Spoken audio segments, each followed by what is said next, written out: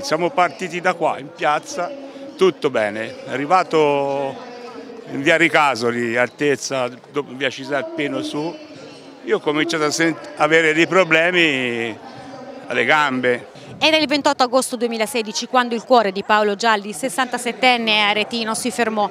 Un arresto cardiaco nel corso della sfilata della giostra del Saracino. E lì mi hanno cominciato a, a chiedere delle cose, a fare dei, dei, controlli, ma io ero tutto a posto. Dopodiché io mi sono svegliato e ho detto, ma io cosa ci faccio qui in questa ambulanza? E dice, guardi, lei è andato in arresto cardiaco e adesso aspettiamo l'altra ambulanza per per portarlo in ospedale in cardiologia. Oggi vive grazie alla tempestività dei soccorsi ed adesso è formato per salvare altre vite. Devo anche qui in questo momento non esserci qui a fare l'intervista, ecco, questo è importante dire che e oggi vivo abbastanza bene. Il 14 maggio in tutta Italia si celebra il Defibrillation Day ad Arezzo in piazza San Jacopo, una mattinata per comprendere l'importanza della prevenzione cardiaca e i vantaggi del pronto intervento. E oggi siamo qui in piazza per farvi vedere come in tre semplici mosse è possibile salvare una vita. Nella provincia di Arezzo sono stati installati oltre 1000 defibrillatori, 34.000 invece le persone formate.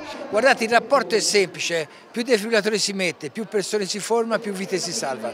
Il Covid ci ha fermato un attimino, la nostra sopravvivenza è scesa dal 38% al 20%, dobbiamo recuperare, non possiamo vedere di perdere le persone perché c'è un virus a giro. La prossima sfida è quella dei grandi condomini. Perché la maggior parte delle persone muoiono in casa e non si può pensare di avere condomini sprovvisti di uno strumento salvavita.